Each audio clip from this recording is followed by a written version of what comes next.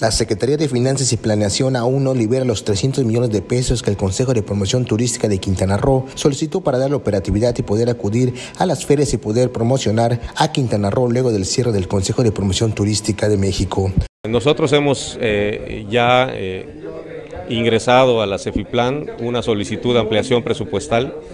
para llegar por lo menos a la cifra que tuvimos el año pasado. Darío Flota, presidente de CPTQ, dijo que en lo que respecta a la asistencia a las ferias se tiene garantizado mientras se presentan los proyectos y la ampliación presupuestal que se dará para entonces poder cerrar el año con 700 millones de pesos considerando que ahora, este año ya no vamos a contar con el dinero que el Consejo de Promoción de México invertía en las campañas de Quintana Roo,